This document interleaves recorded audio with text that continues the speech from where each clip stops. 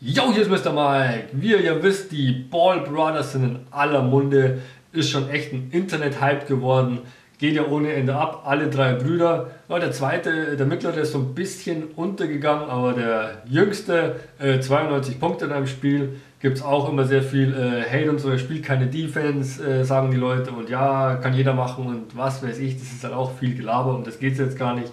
Jedenfalls, äh, Papa Ball, so nenne ich ihn mal, der Papa von den Ball Brothers, behauptete jetzt in einem Interview, dass sein äh, größter Sohn, Lonzo Ball, der jetzt im College bei UCLA ist, äh, besser wird oder schon ist als Steph Curry. Ist er sich hundertprozentig sicher? Äh, ja, ich zeige es euch hier mal. You think he can be as good as Steph Curry in the NBA? Heck no! He gonna be better than Steph Curry in the NBA. Steph Curry's pretty good, Mr. Ball. Steph Curry is really good. My son is young. He got time to go. Mm, And you only consider him good because he won a couple of championships. right. Don't let him win no championships, This say he good. He makes some shots at the right time, hey. But I tell you what, he's not as young as my boy. You said something the other day that some thought was controversial. What made you say that one day Lonzo is going to be better than Steph Curry in Golden State? Hey, let me tell you this right now. I have the utmost confidence in what my boy is doing. I'm gonna tell you right now, he better than Steph Curry to me. Here, put Steph Curry on UCLA's team right now and put my boy on Golden State and watch what happens. Oh my goodness! I mean, you doubled down on it right there. Double down on it again. And like I said, if I don't know what my boy's about, I'm not gonna make that statement. Steph's gonna have problems trying to guard my boy. And let's see, play one on one. Ja, ich weiß nicht, ich halte von so Vergleichen überhaupt nichts. Das ist immer so, ach nee, das ist, man sollte sich sowas eigentlich sparen, aber es ist halt doch dann irgendwie gute Publicity, äh, negative oder positive, das ist total egal. Ich meine, ja.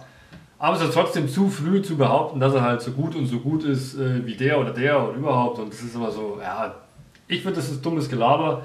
Muss man sehen, wie es sich entwickelt. Ich meine, hey, er könnte äh, sich einen Fuß brechen oder sonst irgendeine schwere Verletzung, könnte nie wieder spielen. Man weiß es nicht, was los ist und überhaupt, ja, es ist zu viel Gelaber, aber ja.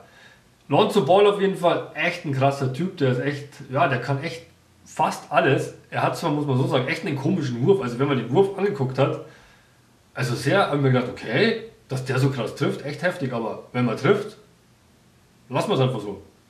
Äh, never change a running system, das ist einfach Fakt. Also kackegal, wie du wirfst, wenn du so wirfst und so triffst vor allem, lass es. Mach so weiter, zerstör alle und überhaupt. Da können die Leute labern, hey, mach so, heb deinen Fuß an, äh, was weiß ich, ich weiß nicht, äh, lass einen Schnürsenkel auf, dann triffst du alles, ich weiß es nicht, ganz egal, was die Leute labern. Lasst es, wenn ihr alles trifft und alle zerstört, hey, was willst du mehr?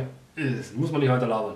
Naja, wir werden sehen, bin gespannt. Eure Meinung dazu, was denkt ihr? Lonzo Ball, der neue Steph Curry, der bessere Steph Curry, der bessere LeBron James, der neue Michael Jordan, wurde auch schon von äh, Papa Ball äh, so mal kurz erwähnt und so und ja, keine Ahnung. Also Feedback geben, vielen Dank, euer Mr. Mike. Boom.